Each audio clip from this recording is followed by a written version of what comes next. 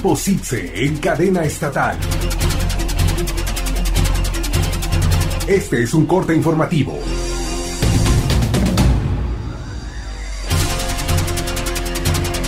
Hola, ¿qué tal? Muy buenas tardes. Les saluda Alejandro Gómez a nombre de mi compañero Antonio García. Le doy la más cordial bienvenida a este espacio informativo. Un saludo a quienes nos escuchan a través de la comadre 98.5, Kiss 97.7 y Amor 100.1. Sin más preámbulos, vamos a comenzar con la información que tenemos preparada para usted en este 12 de agosto. Quiero empezar platicando que hoy 12 de agosto se celebra el Día Internacional de la Juventud, fecha establecida por la Asamblea de las Naciones Unidas en 1999. Esto como un medio para aumentar la conciencia sobre los problemas que afectan al sector en todo el mundo. Y es que en la actualidad aún queda mucha tarea por hacer para lograr una efectiva participación de los jóvenes en temas de relevancia en nuestra sociedad. Y en temas relacionados, le quiero platicar que en el marco de este día, le comento que actualmente, por lo menos en Yucatán, al menos 4 de cada 10 negocios, lo que representa unas 50 mil firmas, están comandadas por jóvenes, cuyas edades se ubican entre 18 a 30 años de edad. En la actualidad, unos 800 proyectos juveniles empresariales se incuban en el seno de cámaras empresariales, como lo puede ser la Coparmex, Canacintra y por supuesto en la Canaco en Mérida.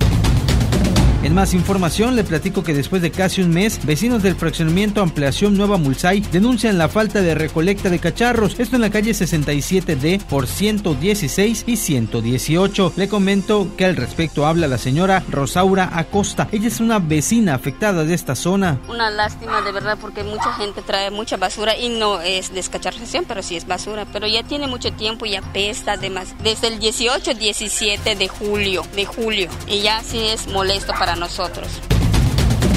En otros asuntos le platico que productores yucatecos imprimen un nuevo dinamismo, así lo expresó el titular de la Secretaría de Desarrollo Rural en Yucatán, Juan José Canul, esto en el marco de una gira de trabajo por el oriente de la entidad. Añadió que esto pues ha convertido a la zona del estado como una estrategia, generando alimentos, por lo que también la diversificación de productos y optimización de recursos forman parte fundamental de estas actividades para llegar al mercado local y por supuesto también al mercado nacional.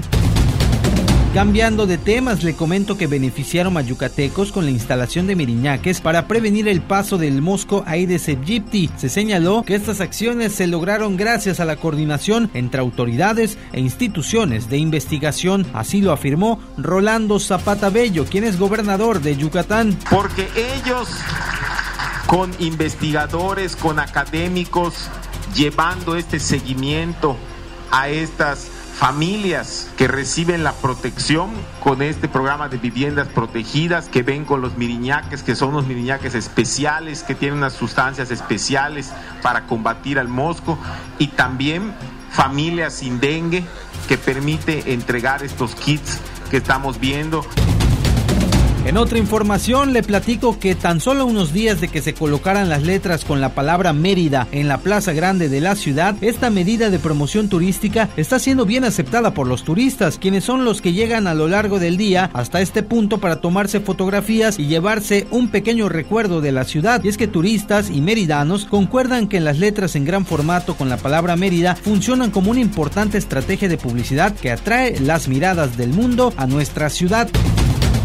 Le quiero platicar también que concluyó la entrega de apoyos del programa Mejorar, por lo cual se cumplió el objetivo establecido. Es que más de 60 mil acciones se realizaron en este 2016. Así lo informó Mauricio Saúl, secretario de Desarrollo Social en Yucatán. Es que este programa regrese el próximo año en beneficio de más y más familias yucatecas que hoy lo están demandando.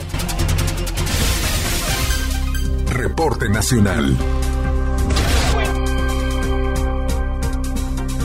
Vamos a la información nacional y le quiero platicar que el secretario de Desarrollo Social del gobierno federal, José Antonio Mit, dijo que se trabaja para restablecer vías vitales luego del paso de la tormenta Air en Puebla. Sin embargo, Protección Civil informó que existen zonas que no son seguras y el titular de la Cedesol reportó que la tormenta ya dejó un saldo de 51 muertos y 5 personas que aún no se sabe de su paradero.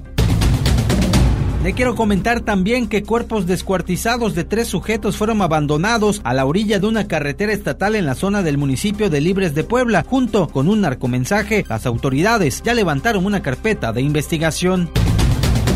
La Junta de Gobierno del Banco de México decidió dejar en 4.25% la tasa de interés de referencia y señaló que los riesgos para la economía mexicana aumentan. No obstante, la Junta de Gobierno dijo también que seguirá muy de cerca la evolución de todos los determinantes de la inflación y por supuesto sus expectativas de mediano y largo plazo. La Secretaría de Educación Pública tiene 3.000 maestros para sustituir a los que fueron dados de baja en los estados de Chiapas, Guerrero, Michoacán y Oaxaca. Así lo aseguró el día de hoy la dependencia a cargo de Aurelio Nuño. El cardenal Norberto Rivera Carrera anunció el nombramiento de Juan Domínguez Yáñez, esto como canciller de la Arquidiócesis Primada de México en sustitución de José Ortiz Montes, esto en un comunicado dirigido a los arzobispos, obispos y curias diocesanas del país. El arzobispo primado de México también informó sobre su decisión de nombrar economo general a sacerdote José Antonio Caballero García en sustitución de Pedro Becerril Mercado. Reporte policiaco. Acompáñeme a escuchar la información policiaca. Y es que este día le quiero platicar que en Cisal, en un operativo implementado por agentes municipales y por supuesto también de la Secretaría de Seguridad Pública, se detuvo a tres varones y a una mujer acusados de presuntamente intentar levantar a Armando Manzano Martínez, de 33 años y vecino de este puerto. Manzano Martínez, según testigos, llegó al comisariado municipal y denunció que lo habían intentado privar de su libertad. Él estaba todo enlodado y bañado en sangre, según los testigos, y portaba cintas de plástico conocidas como cinchos con que lo ataron de manos y por eso acudió a levantar la denuncia. El clima.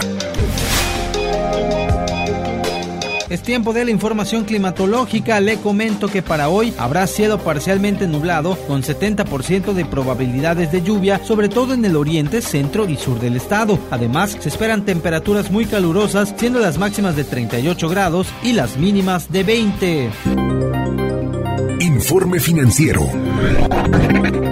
En la información financiera le platico que el dólar americano se está cotizando hoy 12 de agosto en 17 pesos con 80 centavos a la compra y 18 pesos con 55 a la venta. En el caso del euro, este se cotiza en 20.07 y se vende en 20 pesos con 64 centavos. Hasta aquí la información más importante que ha ocurrido a lo largo del día. Se despide Alejandro Gómez. Que tenga usted una excelente tarde. Por supuesto, los invitamos a que nos escuchen el siguiente bloque informativo en punto de las 7 de la noche. Un saludo a todos los que nos escuchan a través de las estaciones hermanas de Grupo CIPSE.